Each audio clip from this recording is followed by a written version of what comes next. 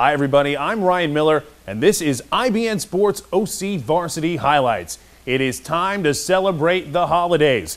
And here in Orange County, we've already started opening presents. We've got high school football on Friday and on Saturday. It's CIF semifinal time, and we've got you covered. We'll begin with Tustin and Villa Park. A slow start to the Southwest Division semifinal. We'll go late to the second quarter. Tustin threatening from the one. Cody Oxby gives it to Edward Tandy. He's in, and the Tillers lead it 6 to nothing. Late in the third, Villa Park in the red zone. Pro set behind Blair Royce. He gives it to who else but David Dolphin Safe Tafuna. It's 7 to 6 Villa Park. Under three minutes left in the fourth, and the Tillers are in business. They give to Tyler Sudzinski. He's in, and Tustin would need to go for two to offset a missed point after. If it ain't broke, yep, hand it off to Sudzinski again, and he's given the Tillers a seven point lead. Time expiring in the game, Diego goes over the Mendoza line, and Tustin advances. They'll face La Habra in the Southwest Championship.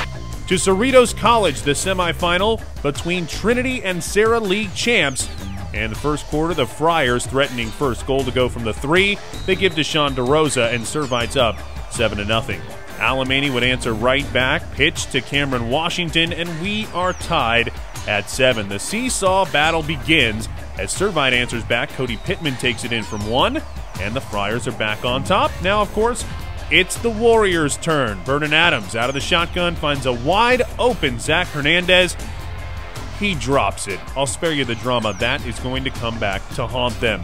Warriors have to settle for the field goal. Jordan Jones in untouched. You know the Friars are going to get you at least one big special teams play, and they did not disappoint on Saturday. Servite doesn't exactly go for the jugular, they just fight fire with Fryer. And that Fryer is Malik Felton. Felton explodes down the sideline for 63 of his 122 yards on the night. Servite's up 21 to 7. Second half, Servite looking to put the game away. Pittman rolls out, finds Ainsley Johnson, and he takes it in for six. Friars lead 28 to 7. But in the fourth quarter, Alemany comes alive. Vernon Adams, couple of pump fakes, gets it to Jericho Richardson, who somehow holds on for the touchdown. It's 28 14. Servite to make it a three possession game. Connor Loftus from 45 hits the crossbar, and the Warriors are still in it. Vernon Adams looking to bring Alemany back to within one score. You'll have to trust me here. He does it. And Servite, unfortunately for Alemany, would hold on defensively and win 28 21.